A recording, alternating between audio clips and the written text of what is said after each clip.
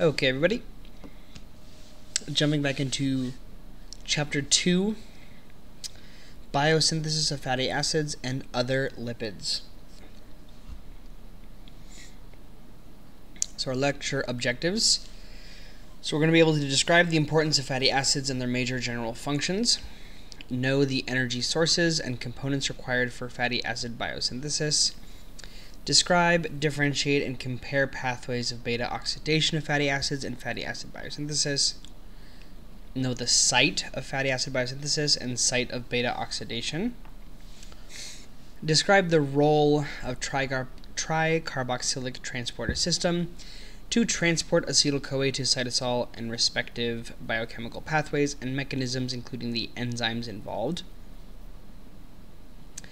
demonstrate the sequence of biochemical pathways with special reference to acyl carrier protein, or ACP, leading to the synthesis of fatty acid, palmitic, uh, for example, palmitic acid, chain elongation and desaturation, and demonstrate the biosynthesis of triacylglycerol and other lipids.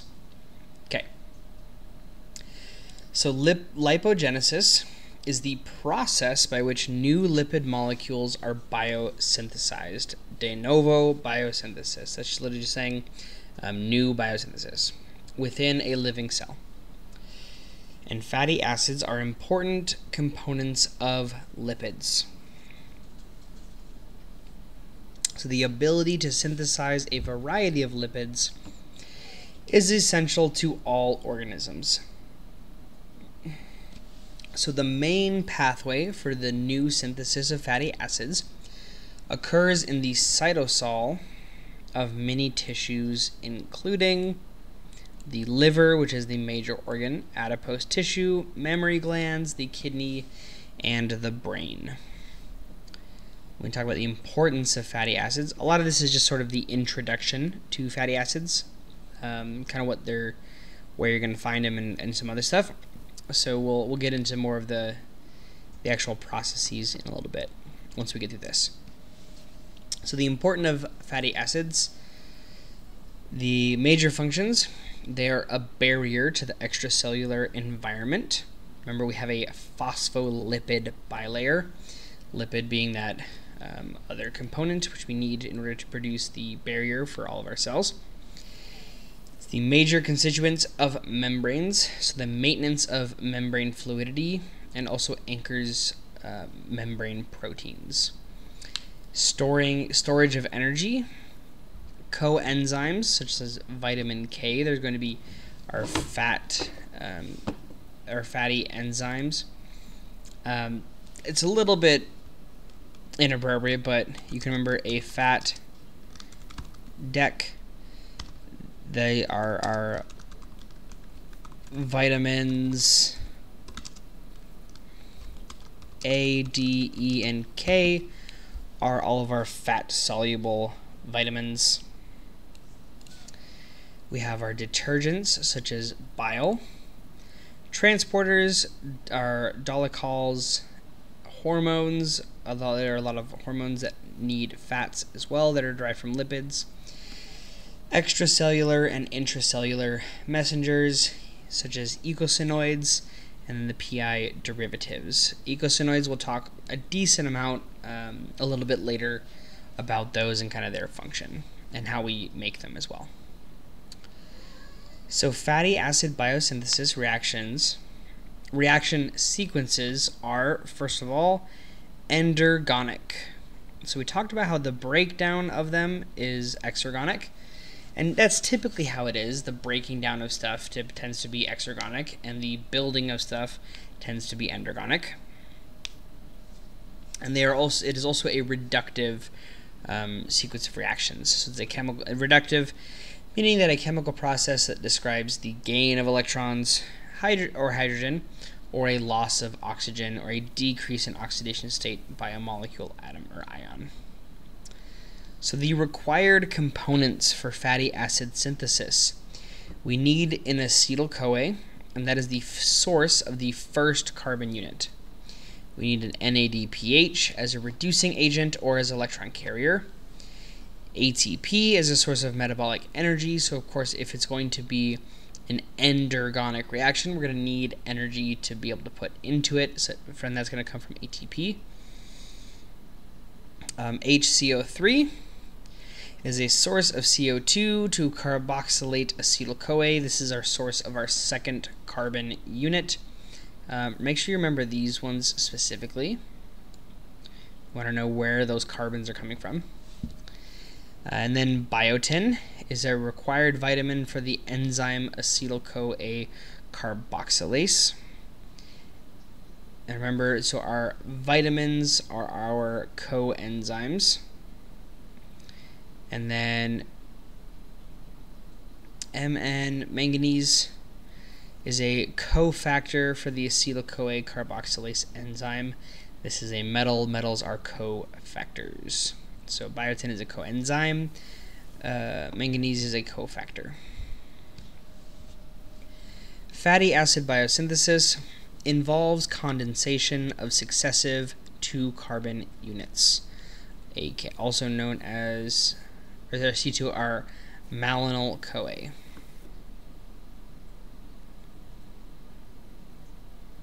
Sorry, that's a typo. That shouldn't be there. Fatty acid biosynthesis involves condensation of successive two carbon units. So, malonyl CoA, a three carbon compound, is an intermediate of the fatty acid biosynthesis and serves as the donor of two carbon units, so C2 donor, and the third carbon is eliminated as CO2. The end product of fatty acid biosynthesis is palmitic acid, which is a 16 carbon unit, a 16 carbon chain. So this is why palmitic acid, we talked about this in the previous chapter, this is why he picked it as the example. Palmitic acid is really important later on. It's kind of like the, the base fatty acid that we'll build off of. But yeah. So remember palmitic acid. Um, fatty acid biosynthesis is just not the exact reversal of the beta oxidation of the fatty acid. There are some differences. So now we're going to compare the fatty acid beta oxidation and the fatty acid biosynthesis. So remember our oxidation, we had our different steps, the dehydrogenation, dehydrogenation, the hydratase, and then our thiolase down here. Slightly, and it's slightly different coming back this way. We have a C2 unit donor is malonyl CoA. The NADPH is an electron donor instead of NADH is being an acceptor. And then again, we have an NADPH being the electron donor and the ACP is the acyl group carrier. And this is occurring in the cytoplasm, whereas the beta oxidation occurs in the mitochondrion. So, the metabolic pathways of the fatty acid biosynthesis are distinct. First of all, it is a reductive process. It occurs in the cytosol and it use, utilizes NADPH as the hydrogen donor or reducing agent or electron donor. Uh, it uses the 3 carbon dicarboxylic acid derivative malonyl CoA as its 2 carbon donor. And the growing acyl chain is attached to the acyl carrier protein, aka ACP, rather than to coenzyme A. So it employs entirely different enzymes and it is independently regulated. So this isn't this is not the same thing as when we talked about with a lot of like um, glycolysis going both ways, and there's a couple differences. This is a completely different process. So, sources for fatty acid biosynthesis we have metabolic pathways of glucose oxidation, fatty acid beta oxidation, amino acid metabolism, ethanol, ketone bodies produce ketone bodies produce a common molecule the acetyl CoA, which is used as the starting material or precursor of fatty acid biosynthesis. Remember that part, that's going to be key. This will be asked in a couple different ways, but essentially the answer is always going to be the same that acetyl CoA is the starter material for fatty acid biosynthesis. As because of that, the cytosol must have sufficient amounts of acetyl-CoA and NADPH. So the different sources of acetyl-CoA is generated by pyruvate dehydrogenase in the mitochondria. So in the glycolytic pathway, glucose is converted to generate pyruvate in the cytosol. Pyruvate enters the mitochondria, where it is oxidatively decarboxylated by pyruvate dehydrogenase complex to produce acetyl-CoA. Acetyl-CoA is also generated by the beta oxidation of fatty acids. Beta oxidation of fatty acids also finally produces acetyl-CoA through several oxidative pathways. And the degradative pathway of amino acid cat- uh, catabolism, catabolism also generates acetyl-CoA. uh, majority of the time, we're going to be thinking about this one, the glycolytic pathway, because if we're making fatty acids, we're not typically breaking them down just to make them. So, uh, apologize, need my water.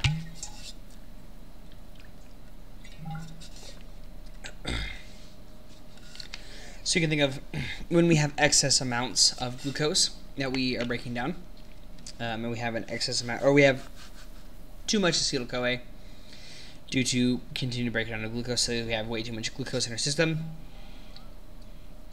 and our storages are full. This is how then glucose eventually can be converted to fatty acid chains, or one way it can be converted to fatty acids and stored it that way in the body. Looking at the NADPH, that is the source of it is from the pentose phosphate pathway, which produces the NADPH. Hopefully, you remember that from last trimester. If you don't, you might want to jump back to one of the to the videos from last try and just review over the pentose phosphate pathway. And then also the malic enzyme reaction produces NADPH. Transport of acetyl-CoA to cytosol and related biochemical reactions of the mitochondrial membrane are impermeable to acetyl-CoA. So then how is acetyl-CoA transported to the cytosol? So apologize, give me one moment.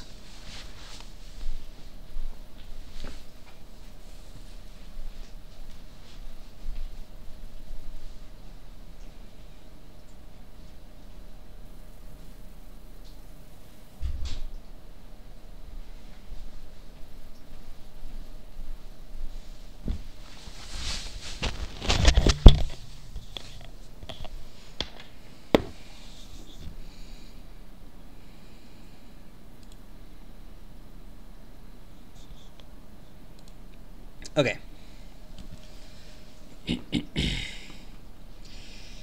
so the way that the acetyl-CoA is transported to the cytosol, it's it's very similar to a lot of the other reactions that we saw um, within kind of transporting stuff across membranes that we that we saw in Biochem 1. Essentially what it's going to be is changing it to different forms.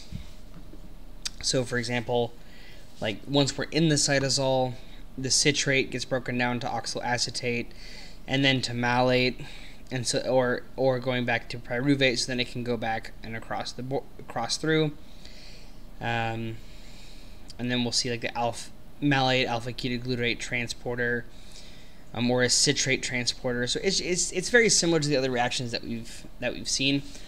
You'll just want to pause here and kind of go through some of these enzymes, um, write this process out so you can kind of just follow it a little bit and study it um, for whatever questions that he can ask about it. Just understand is essentially we're converting um, everything to we're converting it to citrate because the acetyl CoA can bind to the citrate the citrate it then goes across and then it will come the acetyl CoA will come off um, so getting it from the matrix to the cytosol. It's just using it using those intermediates of the Krebs cycle as carriers to get it from the matrix to the cytosol. Uh, this will be the whole the whole process. We'll go ahead and read through it. So this is the tricarboxylate transporter system is going to help transportation of acetyl-CoA from the mitochondria to the cytosol. So within the mitochondria, acetyl CoA reacts with oxaloacetic acetic acid or OAA and produces citrate. So acetyl CoA plus the oxaloacetate gives us citrate. Then we'll go along with the end, and that uses the enzyme citrate synthase. So we'll want to remember to make sure we know the enzymes.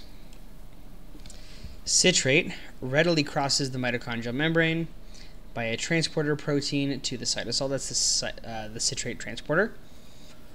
In the cytosol, citrate lyase breaks citrate with the help of ATP as an energy provider for the cleavage process. And oxaloacetate and acetyl CoA are produced again in the cytosol. Now, acetyl CoA is available in the cytosol. And this gives us the whole process. And then we have to get the oxaloacetate back into the mitochondria. So the oxaloacetate produced in this reaction is reduced to malate by the cytosolic malate dehydrogenase, and finally is converted to pyruvate by malic enzyme. In this reaction step, catalyzed by malic enzyme, NADPH molecules are produced. So here's another source through the malic enzyme we mentioned earlier that are NADPH molecules. We get those for the um, fatty acid biosynthesis. So then pyruvate is returned back to the citric acid cycle in the mitochondria and converted to oxaloacetate for further oxidation. So it's just that full, beautiful little circle.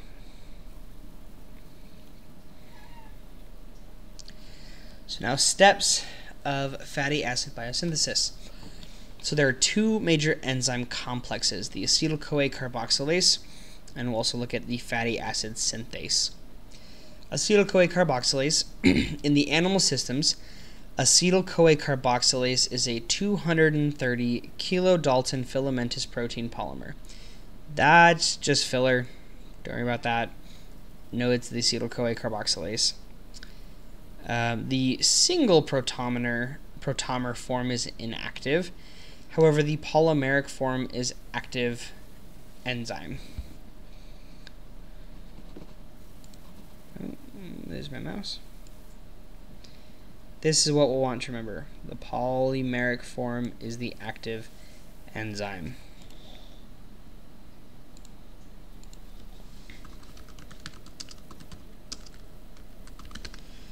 Make sure you remember what polymeric is.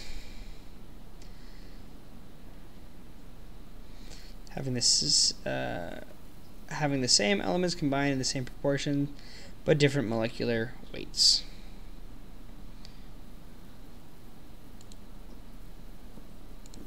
Um,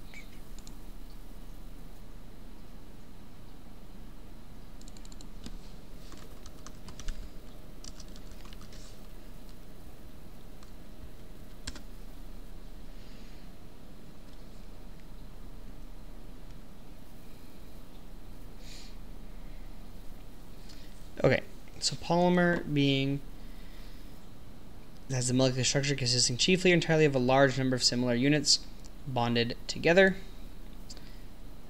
So the single form is active, the polymeric form is the active enzyme. So once they bind together, and um, once like the different parts of it, so the polymer part of it, the polymeric form, when it's all the different parts that are similar combined together, then it becomes active. Fatty acid synthase is a multi-enzyme complex. It is a polypeptide containing seven enzymes which are bound to the acyl carrier protein ACP. So the first step, production of malonyl CoA is the initial and rate controlled step. Whenever we see this rate controlled step, you better know it.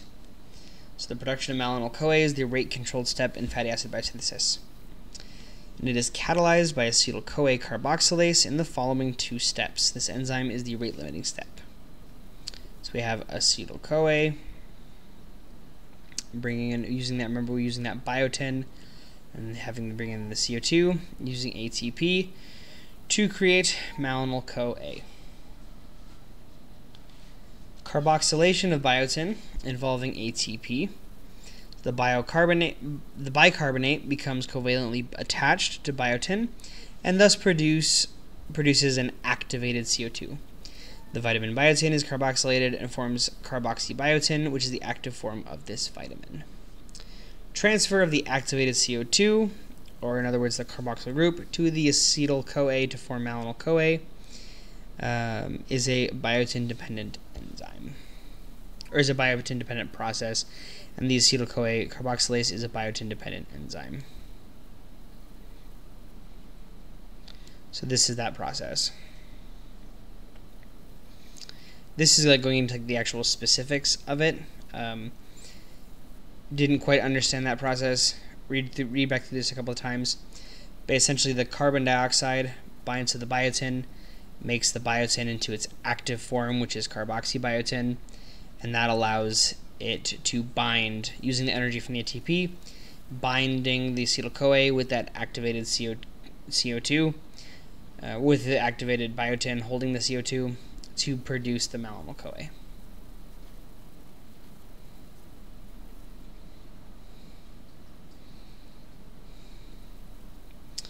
Uh, this is talking about the functional regions, kind of what, what we just talking about, the different, uh, the, the, functional regions of that whole trans carboxylase, um, the acetyl CoA uh, carboxylase protein.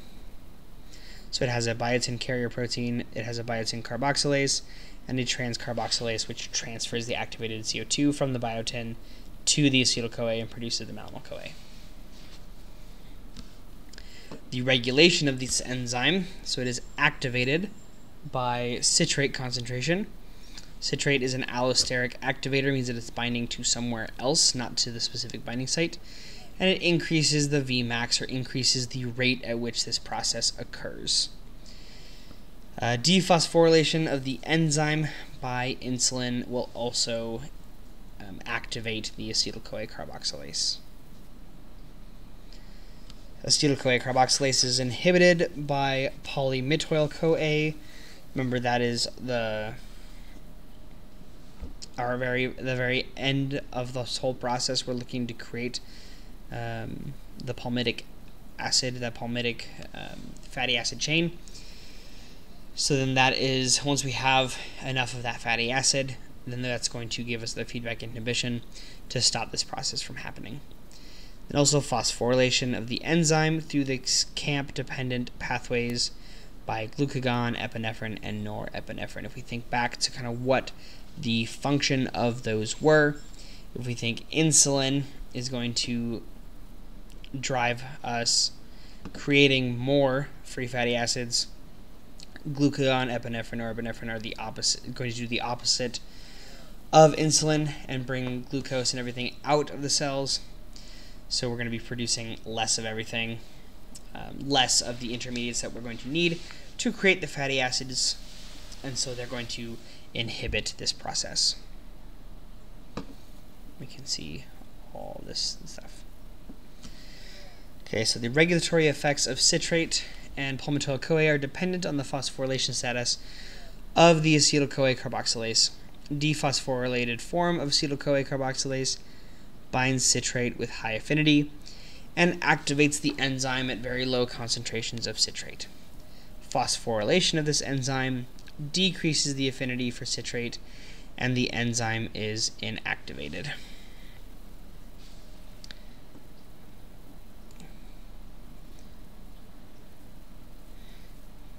Okay, we're getting to the part, we're getting approaching that half hour mark.